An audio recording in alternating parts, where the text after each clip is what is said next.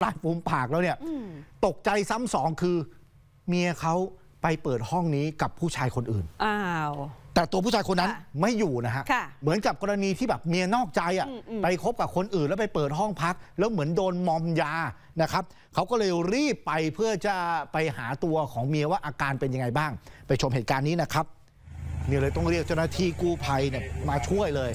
เรียกสติผู้หญิงคนนี้ครับอายุ 47ละ สภาพคือเธอไม่รู้สึกตัวครับ โอ้โห ร่างกายนี่เต็มไปด้วยคราบอาเจียนนะฮะเนี่ยเลอะเปื้อนเปื้อนเต็มหน้าเต็มตัว เห็นเจ้าหน้าที่ไหมฮะพยายามจะเขย่าตัวเรียกเธอไม่ฟื้นนะครับ ก็รีบปฐมพยาบาลเบื้องต้น แล้วนำตัวส่งรักษาต่อที่โรงพยาบาลสระบุรี เหตุการณ์นี้เกิดขึ้นเป็นกับโรงแรมแบบสไตล์รีสอร์ทนะครับค่ะอยู่ที่ถนนเลี่ยงเมืองตำบลตะกุดอำเภอเมืองจังหวัดสระบุรีเมื่อวานนี้นะครับ ความคืบหน้าวันนี้เราไปตามมา นะฮะช่วงบ่ายสามโมงเย็นที่ผ่านมานี่เองครับ ปรากฏว่าอาการของผู้หญิงคนนี้ก็เหมือนกับยังไม่รู้สึกตัว แล้วมันมีเรื่องที่ตอนแรกเนี่ยเราตกใจมาก ค่ะ เขาบอกผู้หญิงคนนี้ตายแล้ว อ๋อ พอดีเราตรวจสอบไปตรวจสอบมาค่ะ ยังไม่ตายนะครับ ค่ะ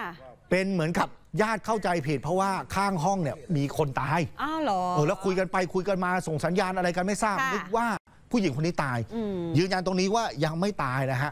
แล้วเรื่องราวที่เกิดขึ้นเนี่ยเป็นยังไง หลังเกิดเหตุใหม่ ๆ ครับ พนักงานโรงแรมเนี่ยเป็นคนแจ้งขอความช่วยเหลือก่อนฮะแล้วก็พาทีมข่าวพาตำรวจไปดูจุดเกิดเหตุภายในห้องพักคุณผู้ชมครับภายในห้องพักเนี่ยมีน้ำหกอยู่เต็มพื้น ผ้าปูที่นอนนี่ยับยู่ยี่เลยนะฮะหน้าห้องมีรถมอเตอร์ไซค์ของผู้หญิงคนนี้จอดอยู่ครับค่ะแล้วพนักงานเขาเล่าให้ฟังว่าก่อนเกิดเหตุ ผู้หญิงคนนี้ขี่มอเตอร์ไซค์เข้ามา หลังจากนั้นมีมอเตอร์ไซค์ตามมาอีกหนึ่งคันอืมคนขี่เป็นผู้ชายวัยประมาณสัก 50 ปีนะครับอืมเหมือนกับลักษณะนัดมาเจอกันที่ห้อง ค่ะ ต่างคนต่างขับรถมาคนละคัน ใช่อืมนะฮะผ่านไปพักหนึ่งอ้าว ผู้ชายขี่มอเตอร์ไซค์ออกไปคนเดียวฮะค่ะออกไปเพียงลำพัง พนักงานโรงแรมนี่ต้องยกนิ้วให้ เพราะว่าแกช่างสังเกต แกบอกเห็นผิดสังเกตนะทำไมออกไปคนเดียวอ้าวหมดเวลาเช่าห้องปุ๊บไปเคาะประตูเรียก ได้ยินเสียงแว่วๆเหมือนกับ คนแบบผะอืดผะอมเอื้อค่ะเอออย่างเงี้ยผะอืดผะอมอยู่ แล้วก็อาเจียนเห็นท่าไม่ดีครับ พนักงานรีบวิ่งไปเอากุญแจสำรองมาไขประตู เข้าไปปุ๊บเท่านั้นแหละครับ เจอฝ่ายหญิงกำลังนอนร้องครวญครางที่พื้น แล้วโทรศัพท์ที่ฉลาดคือแกไปดูโทรศัพท์ของผู้หญิงอ่าปรากฏมีสายมิสคอลหลายสาย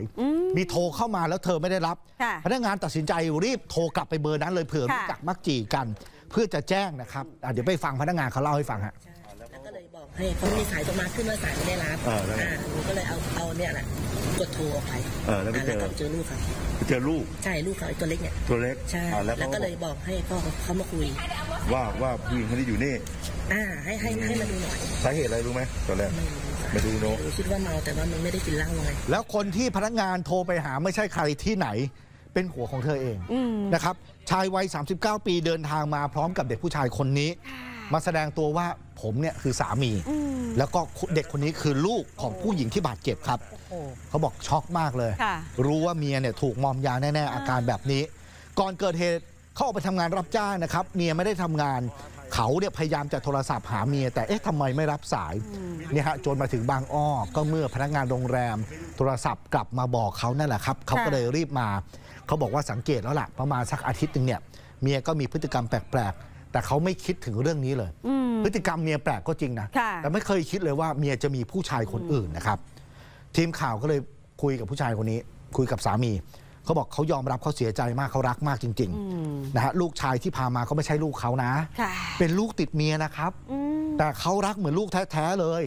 เนี่ยแหละฮะแล้วเมื่อรู้ข่าวว่าโดนมอมยาเขาเลยพามาค่ะทั้งตัวเขาทั้งลูกชายอืมเรื่องที่เกิดขึ้นเนี่ยเขาบอกเขาอภัยให้หมดฮะรับได้ รับได้ ขออย่างเดียว ขอให้เมียเขาหายดีนะครับอืมไปฟังดูครับพนักงานโรงแรมโทรไปบอกว่าคุณเป็นอะไรกับ ผู้ดีหรือเปล่าอะไรโอ้ผมเป็นแฟนครับผมก็เลยรู้ผมก็เลยรู้ให้ฟังเหรอครับผมเพิ่งรู้ว่าเขามาอยู่โรงแรมแล้วมีชู้นานยังเลยท่าทางผมก็ไม่รู้ว่าผมก็สังเกตมันผิดปกติไงนานยังคุยกันตินานนะเมื่อตั้งอาทิตย์หนึงแล้วครับผมจะเก็บไปกินใจครับแล้วแล้วทำไงต่ออย่างเงี้ยพอรู้ข่าวเรื่องเรื่องแตกเนี่ยแล้วก็ให้เขาไปรักษาตัวก่อนแล้วไอ้เรื่องนั้นไม่ไม่เป็นไรพอให้อภัยได้ไหมครับผมพออภัย ได้อยู่ผมได้พอให้อภัยได้เนาะให้เขา มีลูกมีลูก โโอ้โหให้อภัยค่ะ เจ็บช้ำขนาดไหนให้อภัยได้ขออย่างเดียวขอให้เมียคนนี้ปลอดภัยและหายดี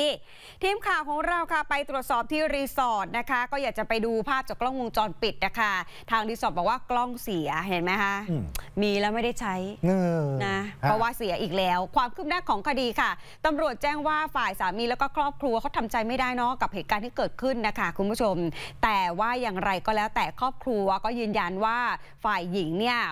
ไม่ได้ถูกหลอกไปมอมยาครับแต่ก็ไม่รู้เหมือนกันนะคะ คุณผู้ชมคะ ว่าสิ่งที่เกิดขึ้นน่ะมันเกิดจากอะไรอืมเขาไปทานยาอะไร หรือว่ามีความผิดปกติอะไร ก็ต้องรอให้คุณหมอเนี่ยค่ะเขาเขาเขารักษาเขาตรวจก่อนครับเราอาจจะต้องรอให้ฝ่ายหญิงอาการดีขึ้นก่อนฮะค่อยสอบปากคำกันด้วยทำไมทางญาติถึงเชื่อว่าไม่ได้โดนหลอก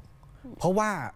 เขาเหมือนกับเขารู้ตัวคนที่พาไปอะว่าผู้ชายคนนี้เป็นใคร เขาบอกว่าเป็นคนใกล้ชิดกับ คนในครอบครัว นั่นน่ะสิ คนในครอบครัวของฝ่ายหญิงรู้จักเห็คนรับหน้าเห็นตากัน แต่ว่าเออสามีนี่เออเหมือนแค่ละแคะละคายแต่ไม่รู้อ่าอืมนะฮะเพราะฉะนั้นต้องเร่งหาตัวเนี่ยกุญแจสำคัญคือผู้ชายคนนี้ให้เจอ รู้ข่าวไวเข้าใจง่ายกด subscribe ข่าวช่อง 8